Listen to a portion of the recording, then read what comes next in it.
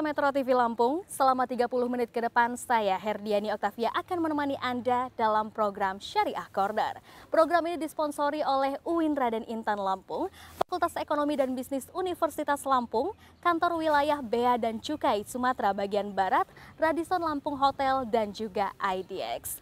Baik pemirsa Metro TV Lampung, saat ini kita masih berada dalam pandemi COVID-19 yang banyak memberikan dampak bagi seluruh masyarakat. Dan tentunya juga ini bukan hanya menyusuri masalah kesehatan saja, tetapi juga perekonomian. Namun di tengah-tengah itu wacana tentang sistem keuangan syariah digadang-gadang menjadi keuangan yang lebih manusiawi. Bahkan sistem keuangan syariah juga dikatakan tidak hanya berdiri di atas korporasinya saja, melainkan juga berbagi manfaat kepada seluruh lapisan masyarakat. Beberapa ikhtiar yang dilakukan oleh pemerintah dengan menggunakan sistem keuangan masyarakat untuk memberdayakan masyarakat di antaranya adalah dengan BMW, BMT, dan juga koperasi syariah. Di lain hal ada juga perbankan syariah yang turut menyejahterakan masyarakat melalui infak, zakat, dan juga wakaf. Namun sejauh apakah semangat dan fasilitas yang diberikan sistem ekonomi keuangan syariah tersebut mampu untuk memberdayakan ekonomi di masyarakat? Kita akan menemukan jawabannya. Kali ini Metro TV Lampung mengundang Dr. Ruslan Abdul Gofur MSI, Dekan Fakultas Ekonomi dan Bisnis Islam UIN Raden Intan Lampung. Halo Bapak Gofur, Assalamualaikum.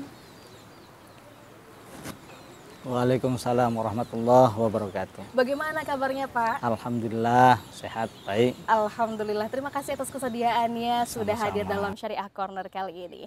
Bicara tentang tema kita kali ini Pak, bagaimana pandangan Bapak secara global tentang peran dari ekonomi syariah untuk mengembangkan pemberdayaan ekonomi di tengah masyarakat? Baik. Alhamdulillah pada dasarnya melihat dari nilai prinsip tujuan ekonomi syariah sebenarnya sangat bisa untuk memberdayakan ekonomi masyarakat.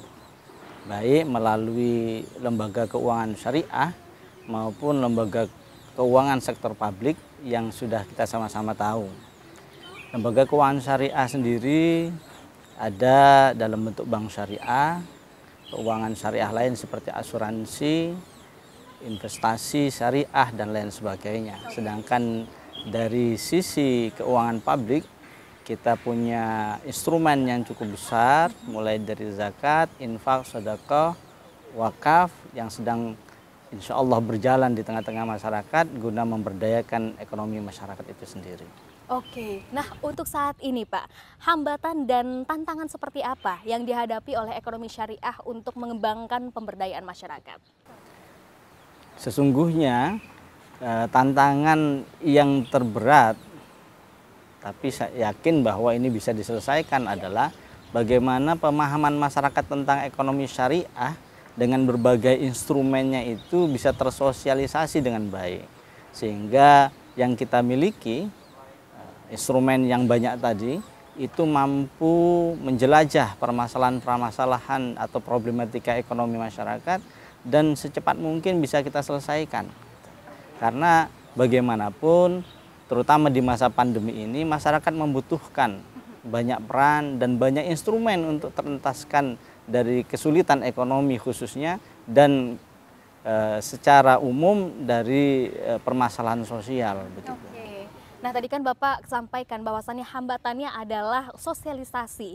Nah untuk saat ini seperti apa sih Pak literasi dan juga sosialisasi yang disampaikan kepada masyarakat terkait ekonomi syariah? Berbagai lembaga keuangan sudah bergerak dan literasinya. Namun memang eh, jika hanya lembaga keuangan saja itu dirasa kurang karena segmen yang cukup besar di ekonomi syariah ini membutuhkan peran banyak pihak termasuk media yang saat ini kita sedang berinteraksi baik elektronik maupun media cetak serta sosialisasi dengan organisasi kemasyarakatan Islam dan begitu juga eh, pemerintah baik pusat maupun daerah harus sama-sama memang gencar untuk menyuarakan ini.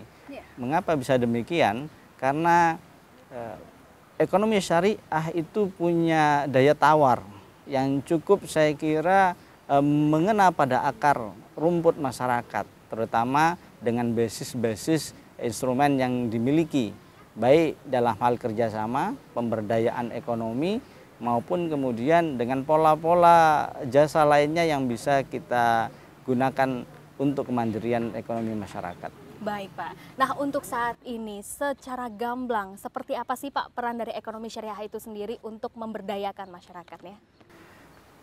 Setelah Indonesia mewacanakan untuk mendorong ya eh, ekonomi syariah menjadi salah satu garda terdepan bagi kebangkitan ekonomi nasional, banyak pihak sudah ikut berperan andil. Salah satunya bagaimana saat ini pondok-pondok pesantren itu bergerak bersama dengan eh, tokoh-tokoh nasional dan lokal itu bersama-sama memasukkan ekonomi syariah yang memang sebenarnya mereka sudah mengaplikasikannya. Karena pesantren itu sekarang kita gadang-gadang sebagai tulang punggung bergeraknya ekonomi syariah. Mengapa tidak? Karena mereka sudah belajar syariah dan mereka pun di dalamnya sudah berinteraksi dengan cara syariah. Tinggal bagaimana pemahaman ekonomi syariahnya itu kita lebih kembangkan agar kemudian interaksi dalam berekonomi dan kemandirian ekonomi pesantrennya itu dengan pola yang kemudian kita sebut dengan ekonomi syariah. Di, di Lampung sudah ada eh, 11 pesantren yang tergabung dalam kooperasi sekunder eh, pondok pesantren yang binaan Bank Indonesia untuk kemandirian ekonomi pesantren di bawah himpunan bisnis pesantren dan di pusat pun sudah terbentuk itu sehingga pesantren menjadi uh, garda terdepan untuk lebih bisa kita menjangkau masyarakat. Wow. Begitu. Jadi memang pesantren inilah salah satunya juga untuk mensosialisasikan dan menjadi tahap untuk literasi juga ya Pak ya untuk memberdayakan masyarakat lewat ekonomi syariah. Baik Bapak, nanti kita akan lanjutkan lagi obrolan kita. Dan untuk Anda pemirsa Metro TV Lampung, tetaplah bersama kami dalam Syariah Corner.